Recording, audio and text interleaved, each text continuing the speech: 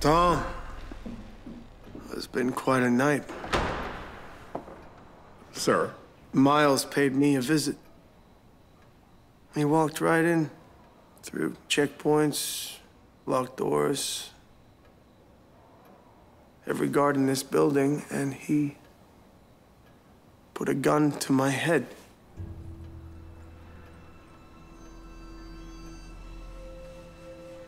I'm I- I'm relieved that you're all right, sir. You know, after everything I've done, I would have put money on someone coming from my head, just not Miles. How did you stop him? I didn't. He stopped himself. Oh, it's Miles. He's a he's a little sentimental. You know, the worst part is there's a part of me that wishes that he pulled the trigger. What am I supposed to do now, Tom? Am I supposed to hunt him down? Kill him? General, if Matheson has turned, steps need to be taken. He knows our security, our. Everything. He knows everything, Tom. Because he built it. The man tried to kill you. We need to return the favor.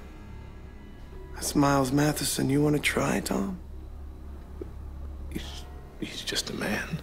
Just a man. Just a man who had help. Now he is. Always has been a general.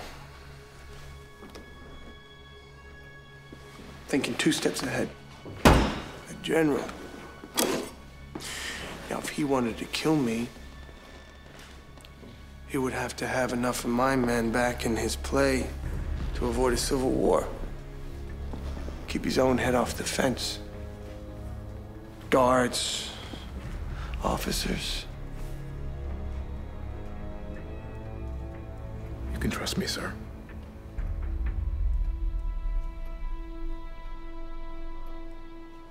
Find out who helped him. Anyone who had a hand in this, I want their blood on my floor. You'll have it.